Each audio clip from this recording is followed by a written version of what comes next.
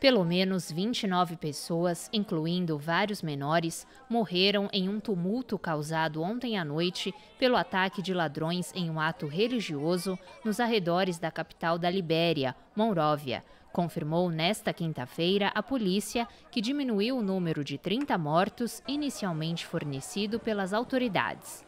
Segundo o inspetor-geral da polícia, Patrick Sudue, as vítimas fatais são 17 mulheres, dois homens e 10 crianças.